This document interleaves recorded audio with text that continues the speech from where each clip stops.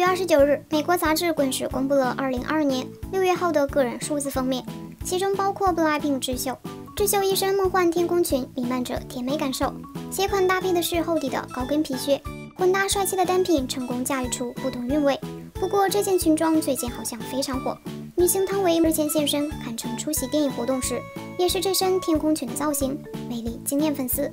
不仅如此，韩星李圣经也在杂志画报中穿过，女神级人物们撞衫成一团，仿佛上演一场仙女打架。不过网上整串评论区中全在呼喊着智秀的名字，可说是人气碾压。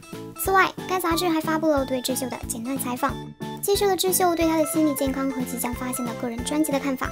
智秀更新了她专辑的可能概念，他说：“我不确定我有多想 solo。”智秀特别表示，对于自己想追求的音乐类型。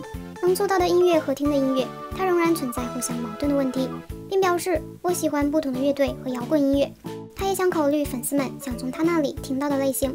他说：“我仍然不确定今年我的个人计划会发生什么，不过这也给了粉丝更多的期待。所以，我们最终会在2022年见到摇滚明星智秀吗？”爱豆韩舍每日解说最新韩语，欢迎点赞和订阅哦。